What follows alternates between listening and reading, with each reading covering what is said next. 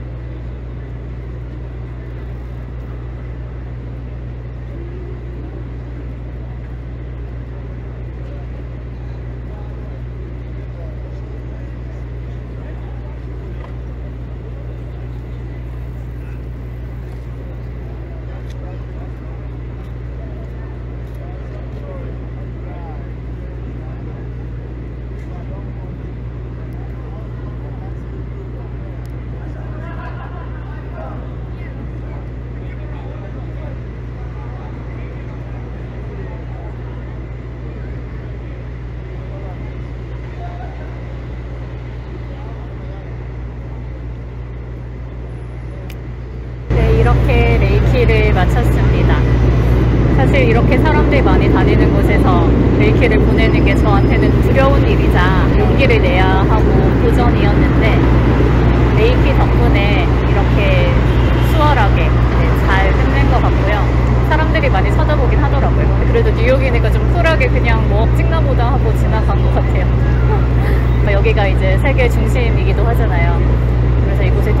레드피스 에너지가 필요한 곳으로 흘러가도록 기도하면서 메이기를 보냈습니다. 네, 여러분들이 이 장소의 에너지를 어떻게 느끼셨을지 궁금하고요. 댓글로 어떠셨는지 남겨주시면 감사하겠습니다. 그럼 다음에 또 다른 곳에서 찾아뵐게요. 안녕!